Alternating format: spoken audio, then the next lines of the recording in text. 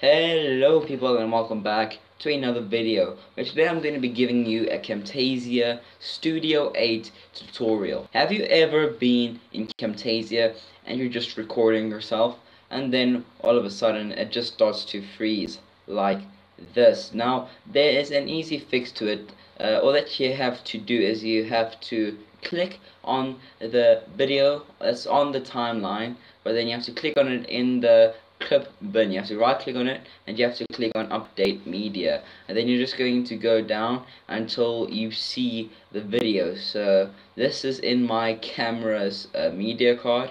Uh, I used this one and then I'm going to click open. So now as you can see if I play it again it will just start playing normally. So this is just before a, um, a gaming video like a gaming uh, like I was just getting everything ready. I know I look like a, a constipated or something but uh, yeah that's just a little tutorial on if that ever has happened to you. So uh, I just want to say thank you guys so much for watching. Please like and subscribe as this is pretty hot and I'll see you guys in, in the next video. Ciao